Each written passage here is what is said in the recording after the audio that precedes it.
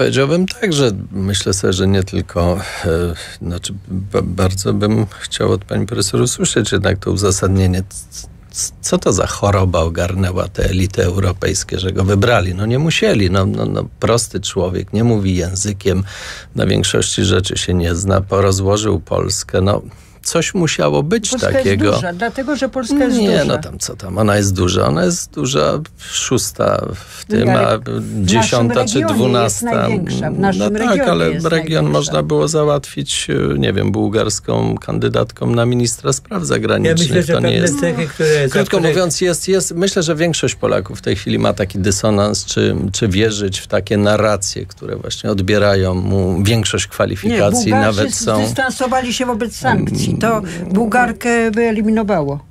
E, to y, y, ta, No. takiej narracji, która tu panowała wiele lat, że mamy kogo, jakiegoś nieudacznika intelektualnego bez wizji człowieka i tego, że jednak y, no, ta Unia poza tam jakimś pomrukami, jak zwykle litewskimi, prawda, e, został jednogłośnie wybrany. No, trzeba się nad tym zastanowić, co takiego w tym Ja myślę, było. że to I a była wielkość kraju, jednak. prawda, to nie- nie- tutaj niczego nie kraju. tłumaczy. y, udana transformacja w Polsce, fakt, że on był w opozycji, mm, fakt, że ma takie zdolności właśnie, za którego tutaj krytykowano, to znaczy kunktatorskie, ostrożne. I pomimo ewidentnych wad na to stanowisko, jakim jest język, je- takie p- p- prawda, niewyrobienie językowe, no więc coś Tak. tam musiało być.